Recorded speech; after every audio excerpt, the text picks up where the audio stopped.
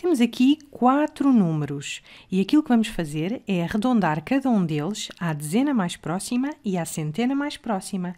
E proponho que comecem a preparar o vídeo e fazer isso mesmo sozinhos. Muito bem, vamos então começar por criar aqui duas colunas. Uma onde vamos arredondar os números à dezena mais próxima. À dezena mais próxima. E do outro lado, daqui deste lado, vamos criar uma coluna onde vamos arredondar estes números à centena mais próxima. E vamos então começar aqui com o 154. Então, 154, qual será a dezena mais próxima imediatamente superior a 154? Ou, dito de outra forma, qual será o múltiplo de 10 imediatamente maior do que 154? Bem, isso vai corresponder a 160 e a dezena imediatamente abaixo de 154, o primeiro múltiplo de 10 inferior a 154 é 150. E assim as nossas possibilidades serão arredondar para cima para 160 ou para baixo para 150. E quando estamos a arredondar para a dezena mais próxima, temos de olhar para o valor que se encontra na casa das unidades para decidir qual destas duas é a dezena mais próxima. E na casa das unidades encontramos um 4. Como 4 é menor do que 5, vamos arredondar para baixo. Vamos arredondar para 150. Agora vamos pensar neste mesmo número arredondado à centena mais próxima. E qual é o múltiplo de 100 que fica imediatamente acima de 154? 160 não é um múltiplo de 100. A centena que fica imediatamente acima de 154, ou o múltiplo de 100 que fica imediatamente acima de 154, vai ser 200. E qual é o múltiplo de 100 que fica imediatamente abaixo de 154? Ou seja, qual é a centena que se encontra abaixo de 154? Isso vai corresponder a 100. E agora, como o que queremos é arredondar à centena mais próxima, para decidir qual destas duas é a mais próxima, vamos ter de olhar para a casa das dezenas. Vamos olhar para a casa que se encontra à direita daquela para a qual queremos fazer o arredondamento. Se queremos arredondar às centenas, vamos agora tomar a nossa decisão olhando para a casa das dezenas. E na casa das dezenas temos aqui um 5. E a regra diz que se o que tivermos na casa das dezenas for maior ou igual a 5, arredondamos para cima. Se for menor do que 5, arredondamos para baixo. E 5 é maior ou igual a 5. Portanto, neste caso, vamos arredondar para cima. Vamos arredondar para 200. E temos aqui uma situação interessante. Reparem que quando quisermos arredondar à dezena mais próxima, como tínhamos um 4 na casa das unidades, arredondamos para baixo. Quando quisermos arredondar à centena mais próxima, como tínhamos um 5 na casa das dezenas, arredondamos para cima. Vamos ver o próximo caso. Agora tínhamos o 4674. 4674. E o múltiplo de 10 imediatamente superior a este número é 4680.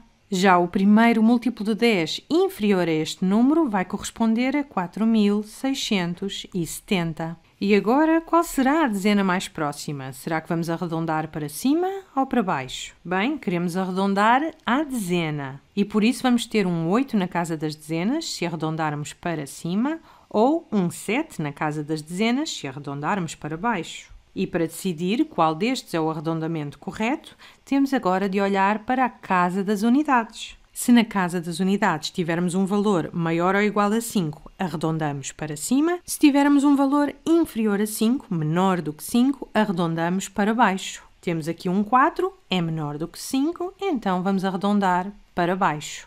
4.674 arredondado à dezena mais próxima vai corresponder a 4.670. Agora vamos arredondar o mesmo número à centena mais próxima, 4.674. Qual é o múltiplo de 100 imediatamente inferior, imediatamente menor do que este número? Vamos ter o número 4.600 e o múltiplo de 100 imediatamente maior do que este número irá corresponder a 4.700. E para decidirmos como arredondamos este número à centena mais próxima, vamos olhar agora para o valor que encontramos na casa das dezenas. Como o que temos aqui é um 7, um número que é maior ou igual a 5, então vamos arredondar para cima para 4.700. Agora vamos olhar para 9.995. Vamos pensar no número 9.995. Qual é o múltiplo de 10 imediatamente menor do que este número? Isso vai corresponder ao número 9990. E qual é o múltiplo de 10 imediatamente superior a este? Qual é a dezena mais próxima imediatamente superior a este número? Vamos ter, nesse caso, o número que corresponde a adicionar 10, uma dezena a este número. E adicionando uma dezena a este número, vamos chegar a 10 mil.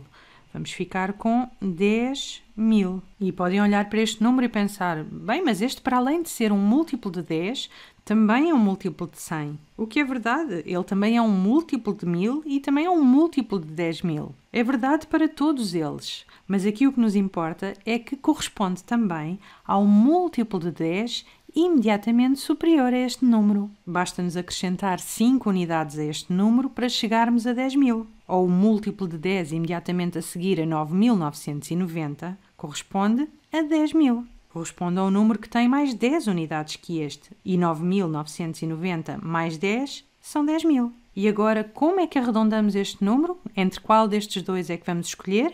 Uma vez mais, se queremos arredondar à dezena mais próxima, vamos olhar para o valor que temos na casa das unidades. Na casa das unidades temos um 5 e 5 é maior ou igual a 5, portanto vamos arredondar para cima. Vamos arredondar para 10 mil. Agora vamos pensar novamente neste número, mas vamos arredondá-lo à centena mais próxima. E qual é a centena imediatamente inferior a este número? Qual é o primeiro múltiplo de 100 menor que este número? Bem, isso vai corresponder a 9.900.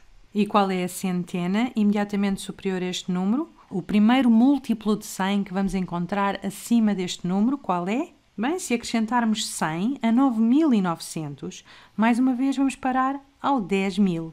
Vamos parar ao 10.000. E como é que vamos decidir se vamos arredondar para cima ou para baixo? Agora já não vamos olhar para a casa das unidades. Como o que queremos é arredondar à centena mais próxima, vamos olhar para o valor que se encontra na casa das dezenas, uma casa abaixo da centena. E se o valor que aqui encontramos for maior ou igual a 5, arredondamos para cima, se for menor do que 5, arredondamos para baixo. E o que cá temos é maior ou igual a 5, portanto arredondamos para cima, arredondamos para 10 mil. E falta-nos ver um último número, Falta-nos pensar no 8346. 8346. A dezena mais próxima menor que este número, ou o múltiplo de 10 imediatamente inferior a este número, vai corresponder a 8.340 e o múltiplo de 10 imediatamente superior a este número vai corresponder a 8.350. E se o que queremos é arredondar à dezena mais próxima, vamos mais uma vez olhar para o valor que se encontra na casa das unidades para tomar a nossa decisão. Como o valor que aqui temos é maior ou igual a 5, vamos arredondar para cima. Vamos arredondar para 8.350. E agora vamos arredondar este mesmo número à centena mais próxima. Queremos arredondar o número 8.346. A centena imediatamente maior do que este número, ou o múltiplo de 100 imediatamente maior do que este número, vai corresponder a 8400. E o múltiplo de 100 imediatamente inferior, ou a centena imediatamente menor que este número, será 8300. Reparem que o que queremos é arredondar à centena mais próxima. Se arredondarmos para cima, o valor que encontramos na casa das centenas passa de 3 para 4. Ficamos com 8.400. Se arredondarmos para baixo, na casa das centenas vamos encontrar novamente um 3, mas depois nas casas seguintes, neste caso a dezena e a unidade, encontramos sempre zeros. E para decidirmos a qual destes corresponde o arredondamento deste número à centena mais próxima, temos agora de olhar para o valor que se encontra na casa das dezenas. E o valor que temos aqui na casa das dezenas é menor do que 5, portanto vamos arredondar para baixo para 8.300.